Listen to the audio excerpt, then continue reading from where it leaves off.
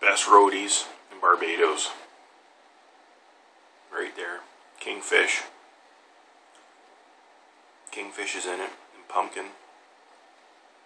And they're damn yummy. I mean, yummy. Yummy.